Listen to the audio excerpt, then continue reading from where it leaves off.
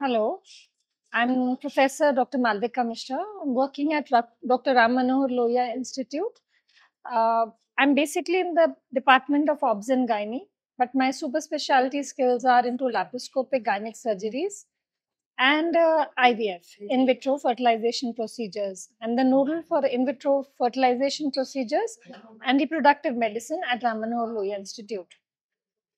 So, my core interest being in treatment for infertility, it is important for all of you to know that at RML we are running a specific OPD for infertility patients, which is on Friday or every week. And we are providing all the counseling and procedures related to infertility. Uh, nowadays, infertility is on the rise, and we have a lot of patients who have queries regarding infertility, and all those uh, are taken care of in the OPD. IVF no more is a stigma, and uh, we are having very good results with IVF.